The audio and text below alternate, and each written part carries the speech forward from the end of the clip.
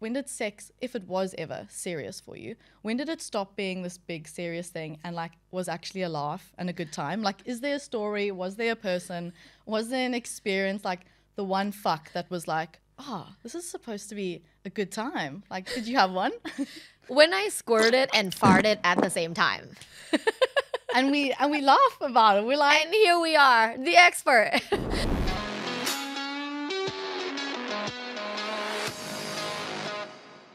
Hi guys, I'm Emmcheeky, a sex educator in London, and today I have the absolute pleasure of sitting with the Oprah of sex, Dr. Tara, to Hello. ask her a couple of questions and get to know you better. Oh, yeah. Come on, How let's do it. I mean, I'm really excited about this because, you know, like this is Luvbites by Dr. Tara podcast. So I'm usually interviewing someone. Exactly. Um, you know, like who I aspire to be Oprah. Exactly. Oprah of sex. I'm kind of turned around this yes. time and roles reversed, tables are turning. Yeah. We want to know about you today. I'm excited for it. Good. Let's well, do it. We're gonna start off with a would you rather. Okay. Okay, are you ready? Oh, I know this game. She's ready. Okay, would you rather have your parents see your sex tape? Or every time you jizz or squirt, it's bright green. Oh, damn. You guys got me on this one. I know. I'm gonna I, I can't deal with like bright light, so I'm gonna go with my parents seeing my sex tape. Yeah. I feel like my mom would be proud of me. Yeah, and I kind of agree. It's like a once off and then it's fine. But I feel like bright green jizz is like a maintenance problem. That's true. That's like true. And I orgasm a lot. I have like multiple orgasms. I can't have like Mess. flashlight in my yeah. face every time, you know? Yeah. So yeah, my parents can watch my sex tape. I feel like loads of people, You're welcome, mom. yeah.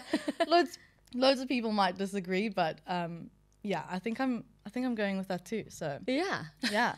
Anyway, getting to what the listeners actually want to know yeah. is um, your roots are really fascinating. Like you didn't start off talking about sexy things. Right. Apparently you were a business girly.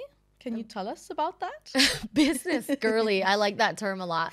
You know, uh, I think this came from my producer. I, we were talking about my past and my like academic past. So I did my undergrad in business, right?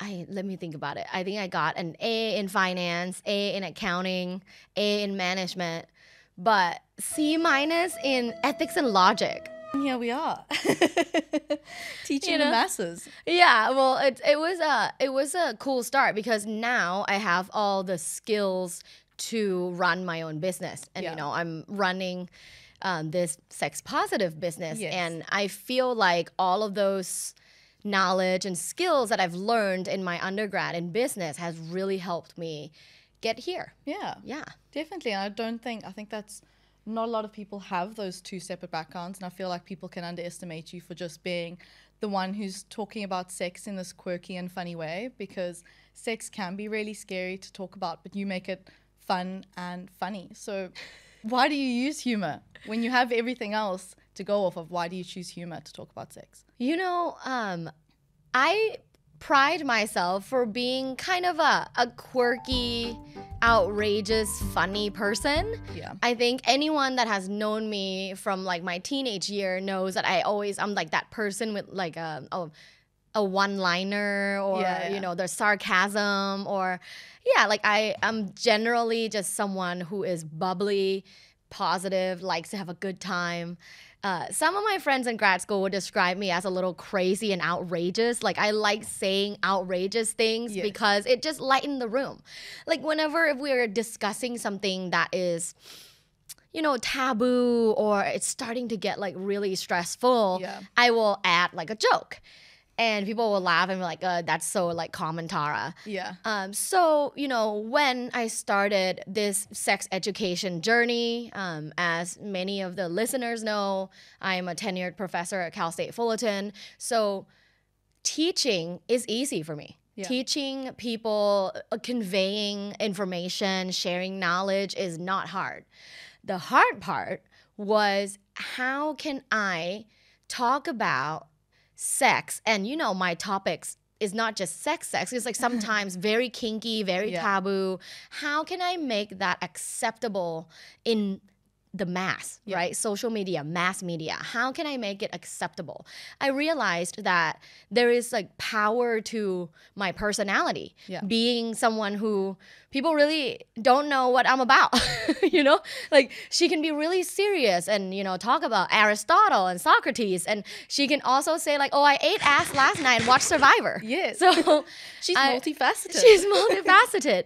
so I, I realized that there was like a lot of power in my personality and how people perceive me. So I'm like, I'm gonna use it. yeah. I'm gonna use that humor and being outrageous, saying the things that people think but are not saying um, out loud and put it out there. So yeah, I I found a way to merge humor and sex education and boom Boom. you know we yeah and here we are. And Yeah. it has really gotten me so far you know? The reason why i'm in london is i'm filming a tv show uh, celebs go dating.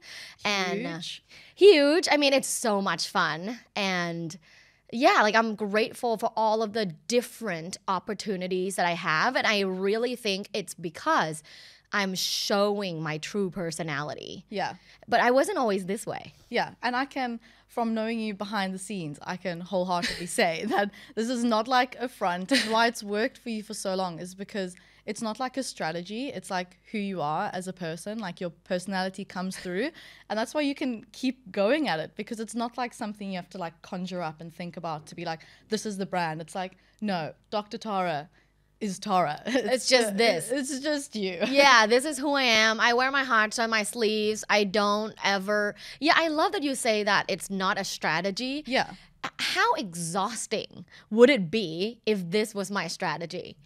it, I would be exhausted to try to be as bubbly and out there and coming up with like like coming up with the things you talk about. It's in your brain already. It's Yeah. not something you have to like sit for hours No. to think about, which is amazing. And how you said earlier is how you know, sex is this funny, wild, crazy, silly thing. It doesn't have to be serious, um, Right. even though they are taboo topics. Mm-hmm. Um, what I think a lot of listeners want to know is like, when did this stop? When did sex, if it was ever serious for you, when did it stop being this big serious thing and like was actually a laugh and a good time? Like, is there a story? Was there a person? Was there an experience? Like the one fuck that was like, oh, this is supposed to be a good time. Like, did you have one? When I squirted and farted at the same time. and we and we laugh about it. We're like, And here we are, the expert. well, you know, um, to go back a little bit to my, I sometimes call it my previous life. yes, um I wasn't always this person and I talked of I talked about it quite in depth in uh, another episode if you'd like to hear it's the history of Dr. Tara episode and I talked about how I went through a lot of sexual anxiety. Yeah. Um, I went through a lot of just like shame and body anxiety because I, I grew up in a very sexually conservative environment in Thailand. I went to an all girls Catholic school. And then, you know, being someone who's curious about sexy things, it's just not something that was acceptable where Yeah. I'm from and with the people I surround myself with. And then I also talked about, you know, my I, me getting married early and you know got a divorce and how huge that was for me. So sex wasn't always funny, silly, and a positive thing. Sex was actually a, quite a negative thing for me. yeah, or like a chore. I feel like a lot of people. Yeah, I was there. Yeah, I was there. Sex was like a chore. Um, I dread trying to initiate. I dread when my partner would initiate. It was actually quite um, icky. yeah, Icky. That's a good word for it. You know. Um, at one point, um, in my previous marriage, where I was, you know, my stomach would hurt when we start touching each other. yeah, And at that time, I didn't know how to trust my body. That TikTok lady that said, Your body is intelligent, trust your body, wasn't there yet. yes, Um, but yes, your body is intelligent. yeah. Your body tells you things. She knows. And 100%, I would say like, okay, 99.99% of the time when your body is like reacting yeah, um, negatively, you're not in the right situation. Yeah. But I, I didn't trust it because even though I got a C minus in logic, I'm a logical person. Yes. So in that relate in that marriage, I was like, okay, I'm gonna make it work. I'm I'm you know creating this like chart Yeah. of like the pros and cons and the things that I'm going to improve to be a better wife, to show up, to make this work, So to we don't stick it out so I don't fail. Mm-hmm. You know, and being someone who was, you know, in in my own lane, like successful in my career. Um, you know, I got tenure in five years after getting my uh, professor job and publishing. I got um, an award for my research. It's just like I was so successful in other things, and I just was so hung up on how would I be perceived if I get a divorce. Yeah. But at the same time, just not really happy. Yeah. And you just have to choose to leave, you know, a situation that's not good for you and wasn't good for him either, you know, um, and choose that path instead. Remember when I decided the big D, not Yeah. the D that I like, when I decided that the big D was gonna come out and, you know, we're gonna talk about it. Um, gosh, my whole body was hurting Yeah. just you know i was um i experienced an immense bodily pain that i've never had before until actually when i tried like psychedelics and Yeah. i actually had a similar experience and i just know that that was my body telling me like ah this is going to be the most one one of the most difficult things you have to Yeah. do but you have to go through it in order to flourish and be who you are Yeah. and uh, yeah, so back to your question.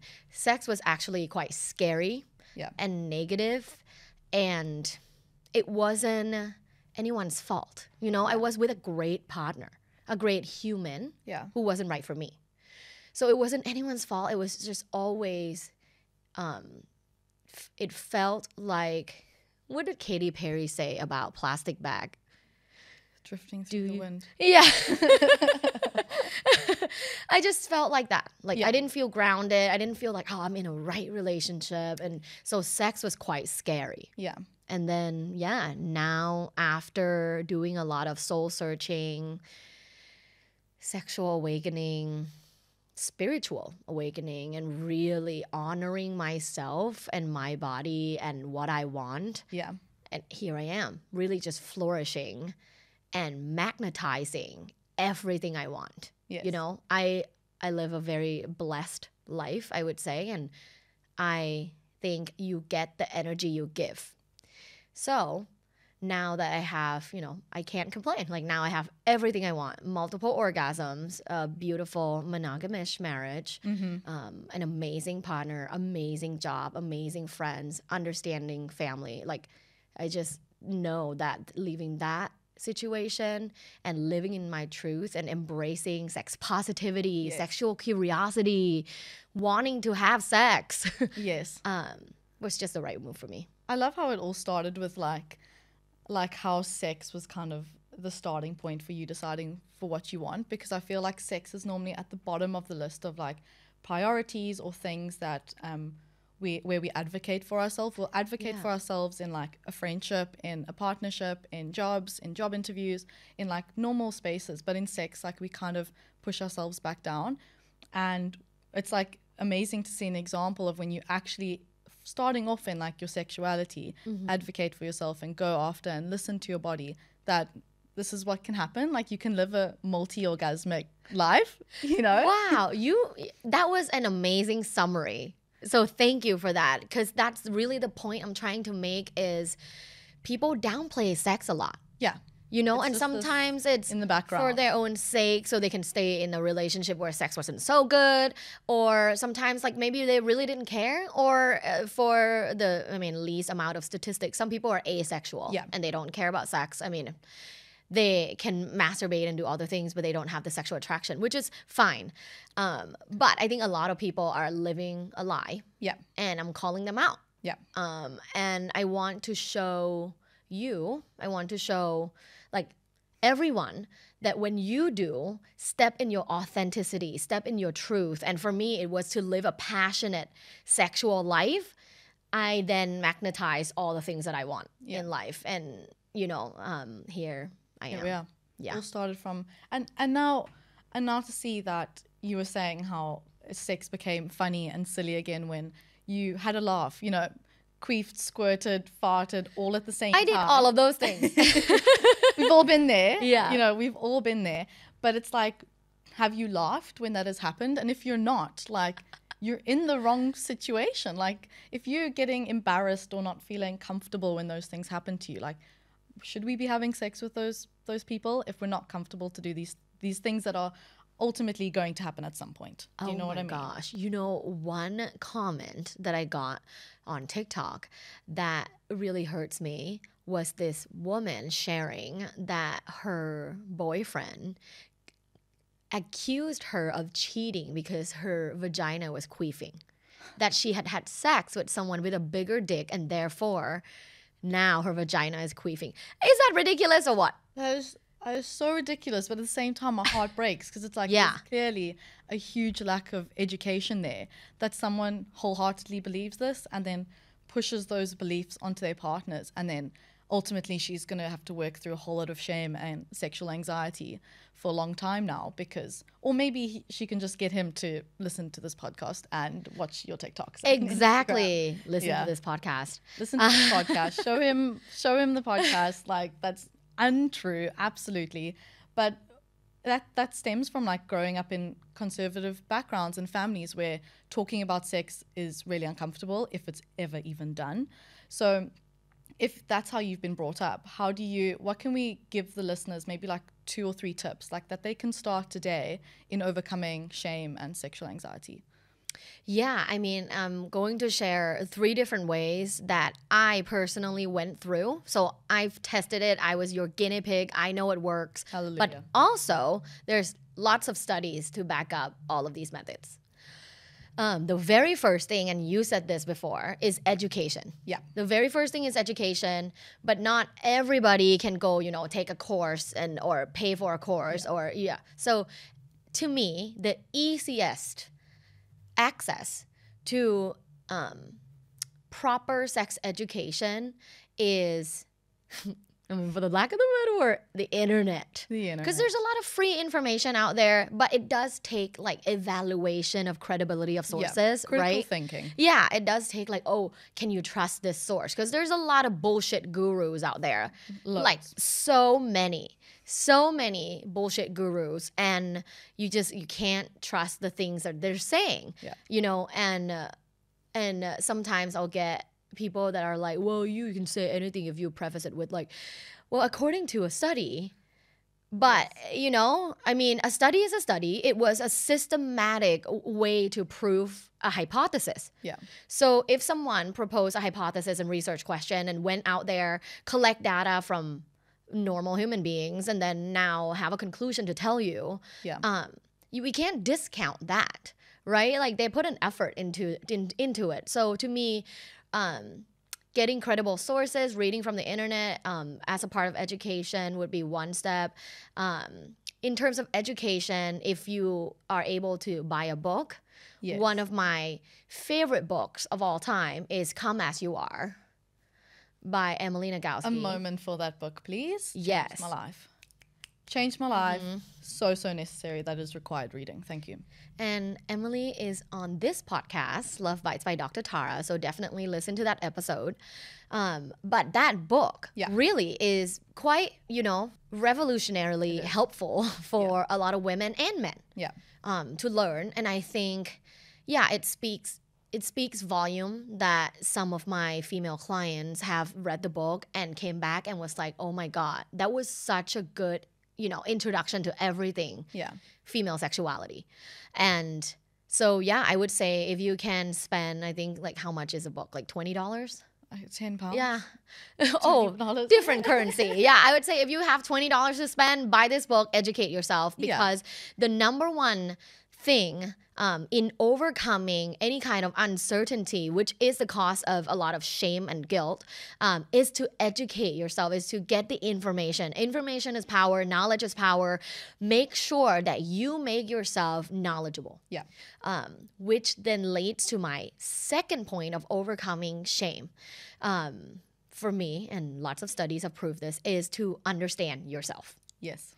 You know, you can't build like certainty, self esteem, confidence without knowing yourself really well. Yeah. So, actually, the first sexual partner that you should know really well is yourself. Um, and I didn't know that until like I was almost 30. Yeah. Uh, I talk about this uh, quite a few times. Like, you know, I faked many, many orgasms. Um, many times I didn't know how to communicate my needs and desires. Many times I faked orgasms because I'm a people pleaser. I was, and I would say still a little bit am, and I think a lot of people are. yes. Um, and I didn't want to hurt the other person's feelings, so I kind of just act like, oh, I'm coming, and I'm just so, good at it. um, and not honoring myself every single day, it kind of chips away your does, integrity and who you are. And one day you just realize, like, oh fuck, I've not had an orgasm for 365 days. yeah. So know yourself. Um, and by knowing yourself is you, you know studying your body. Um, have you done like kind of pleasure mapping? Yes. Absolutely. What are some of your non? Uh, what are some of your unconventional spots? Unconventional spots.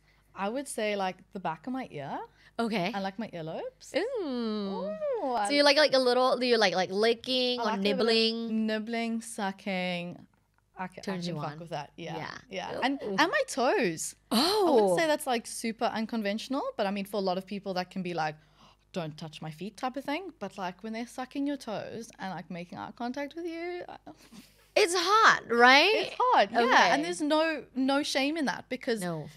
you know we think that these are unconventional to us, and that's only because no one's talking about it. Right. But if everyone honestly wrote a little survey down and the whole world, you'd actually find out that you're pretty normal in the majority. And I don't mean normal as in like you're strange if you don't if you're not if you don't fit there. Everyone's normal. Just Everything's as normal. ex- just as more like I mean majority. You're Yeah. gonna be there's loads of people that like these things but are too embarrassed to say that they do. And they can even be your friend who might shame you for saying I love my toes being sucked, like they did it last night. And they're gonna be like, but it's just because it's their internal shame yeah. that's making them shame you. But they actually like it too. Do you know what I mean? You know, Yeah. in that situation, I like to say it sounds like an issue, not an ish me.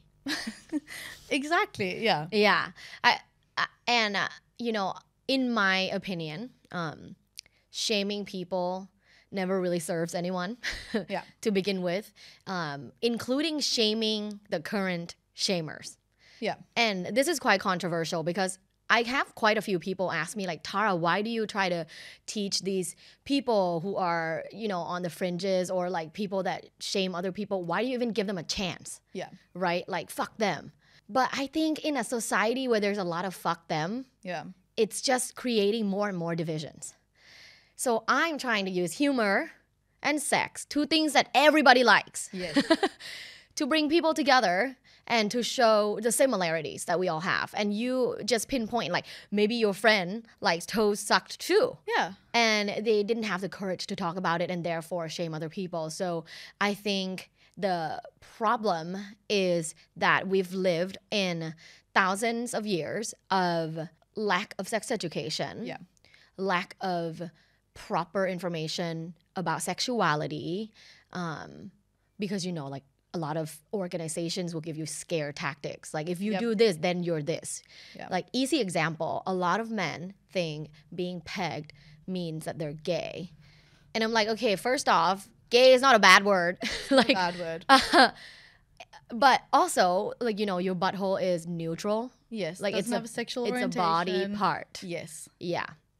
Anyways, Let's just get that out there. yeah, back to uh, the second step was to know yourself really well and pleasure mapping. And you were saying that your earlobes and your toes. And my toes. And you were saying that a lot of people actually like feet, and I did like a little campaign for one of the feet company before, um, not showing my feet specifically, but like uh, advertising. So I learned that like one in seven people have a foot fetish.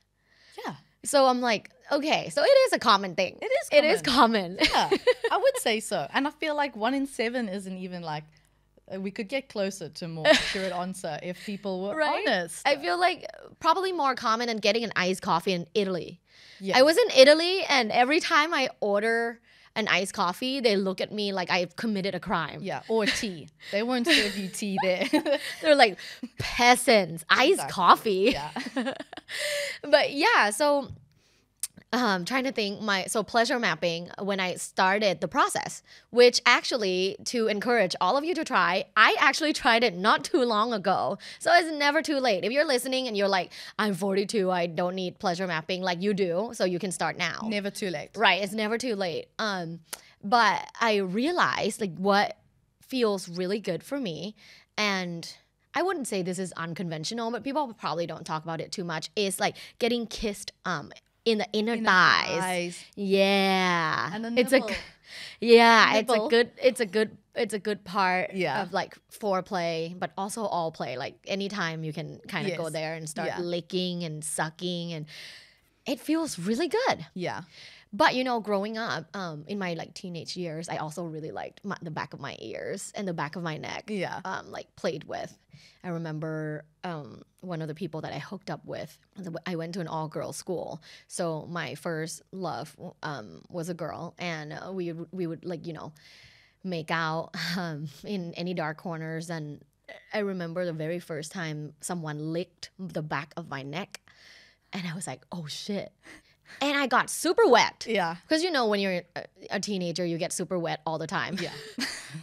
um, and I got super wet, and I was like, "Oh my god, what is that?" Yeah. And yeah, so Now, now you know.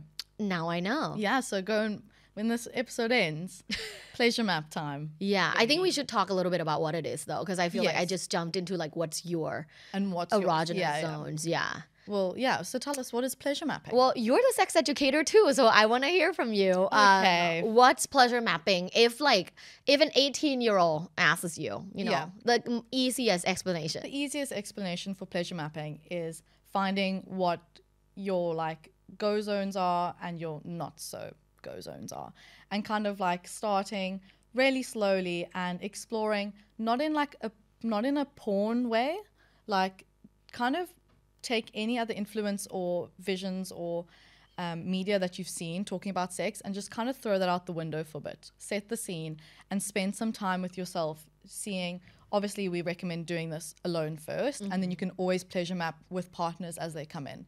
Um, but it's just like what feels good for you. Like, does the elbow feel good?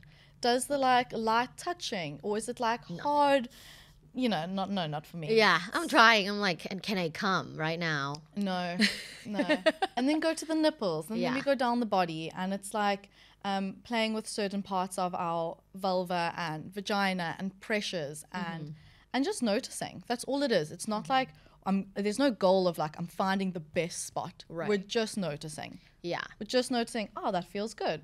That doesn't feel so good. That feels like nothing. That mm-hmm. feels fucking amazing. Like mm-hmm. like that there, and just exploring and figuring out what works for you practicing that in masturbation and then using that with a partner to be like this is let me show you what feels really good for me so that you can communicate and collaborate to have a great sexual experience yeah Bravo.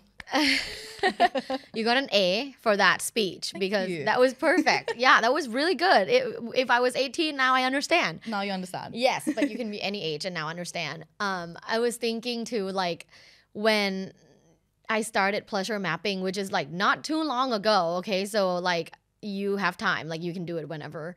Um, I remember back when I was like. I think 21 or 22.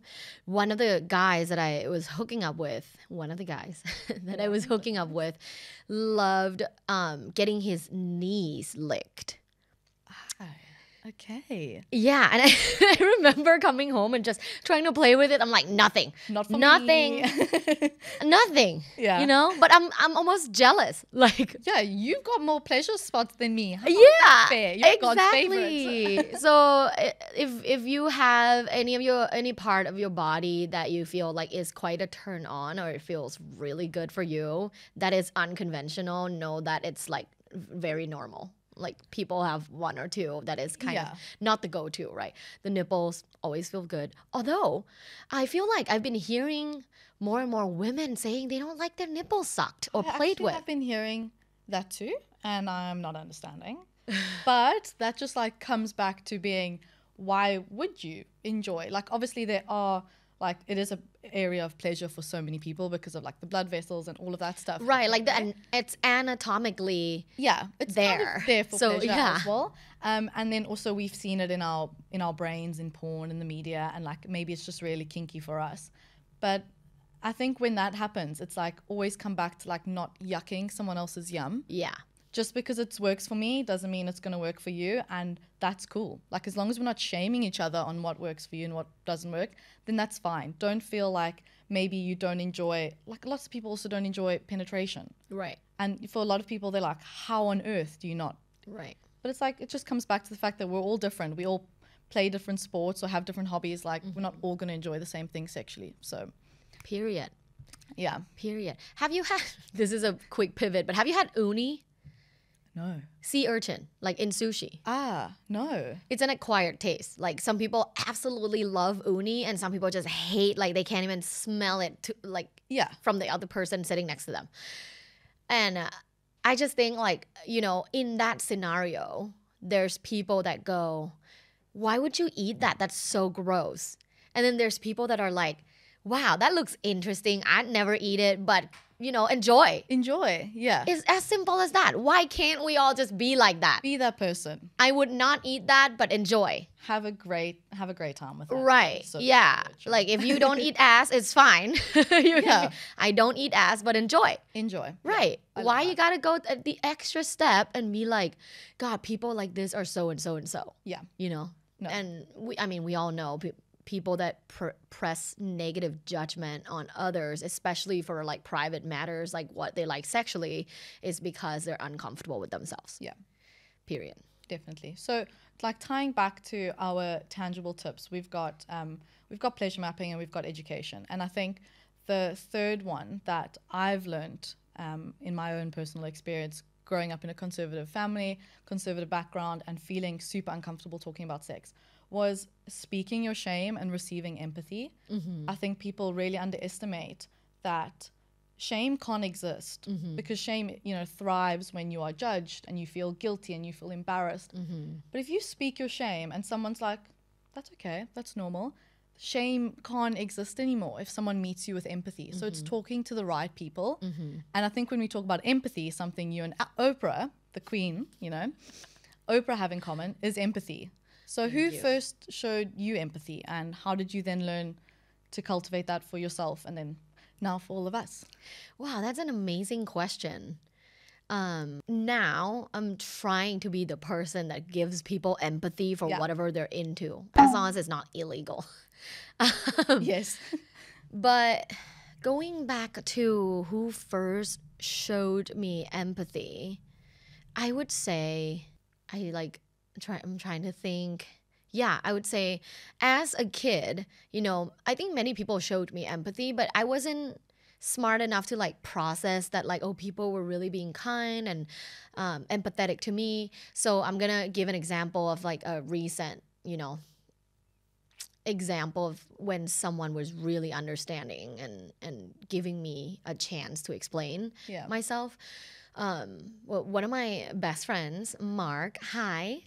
Um, we did our phds together and he was always there for me through like really thick and thin. I went through a lot of you know i went through my hoe phase. I went through my and i say that with like empowerment. I went Yes. through my hoe phase. I went through my like serial monogamy dating phase. I went through my like am i polyamorous phase? I went through my like am i bisexual or pansexual or not at all phase? Am i uh, you know am i a, am i a, just like a simple whore phase? Uh oh now i'm married but i'm constantly thinking about other people phase. Like yeah so he went through a lot with me yeah and me like changing all the time and was never judgmental. Yeah. And I think it's such a blessing to have someone like that in your life. Yeah.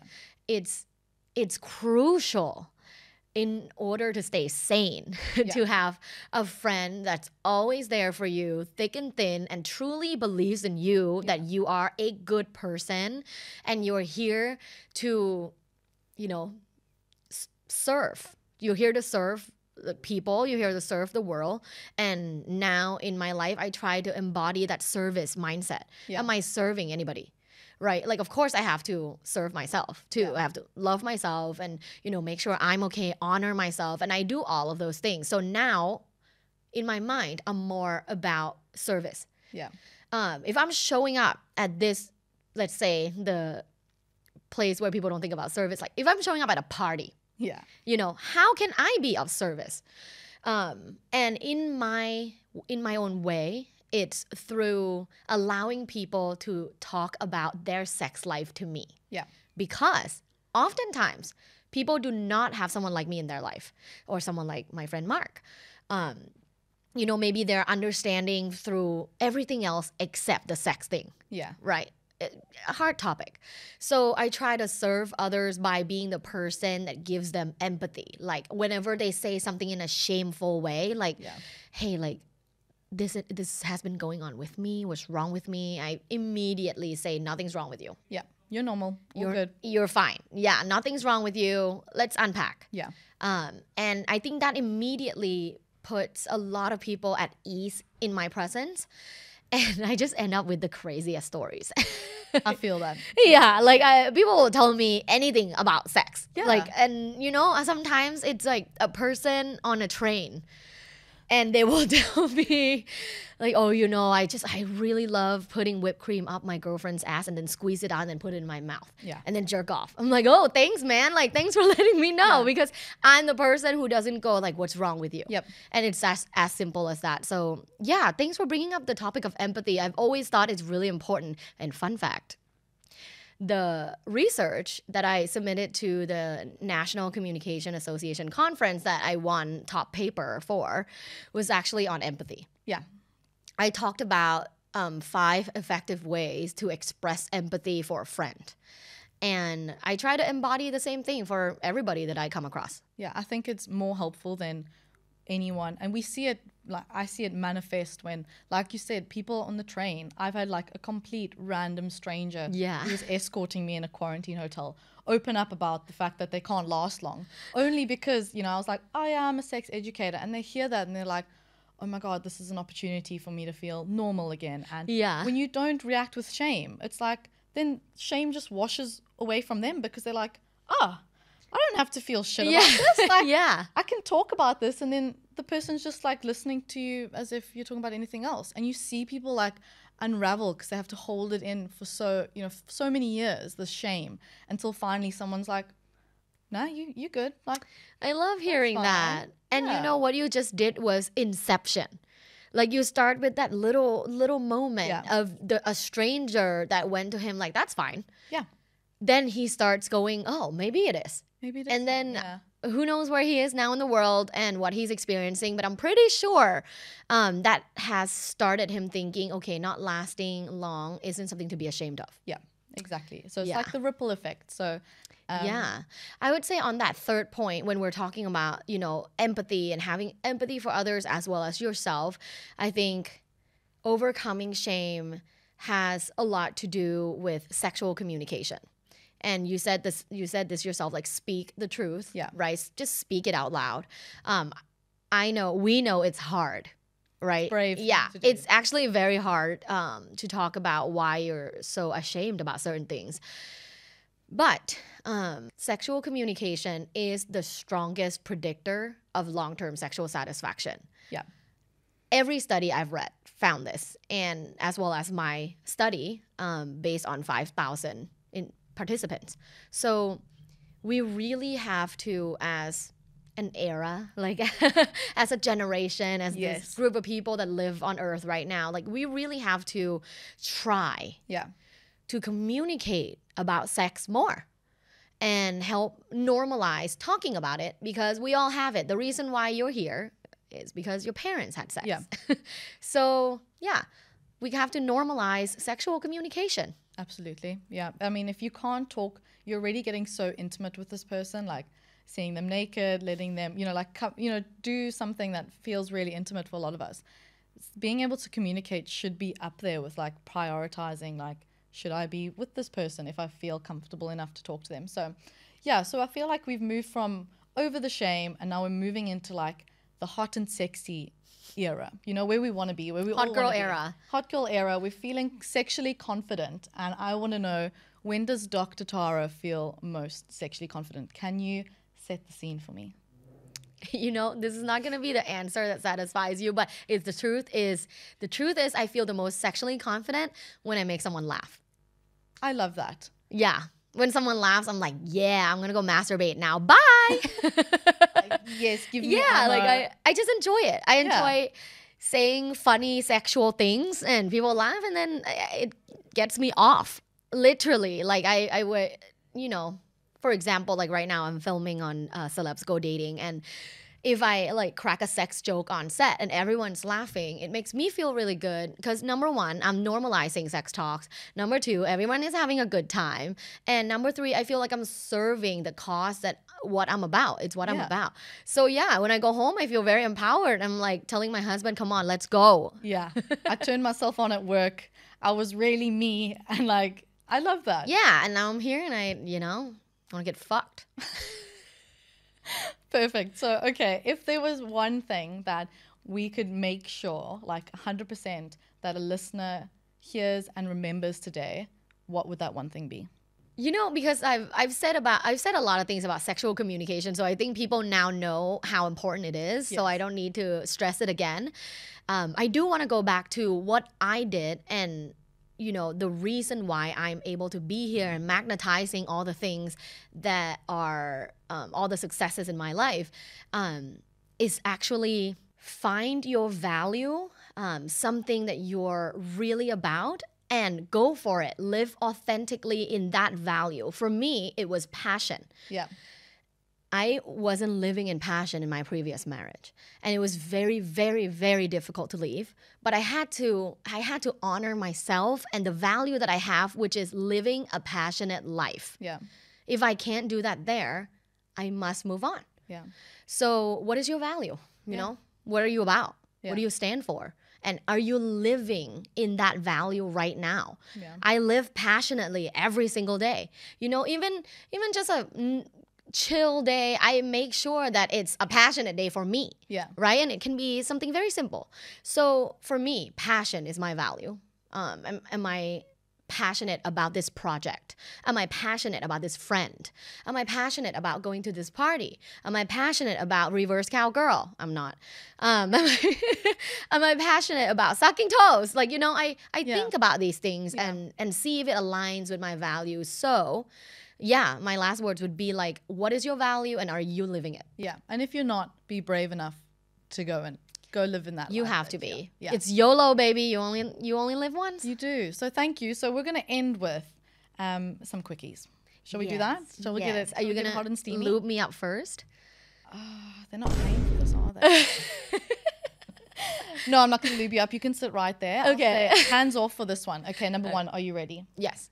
Wearing a vibrator to a dinner date. Like, hasn't everyone done this?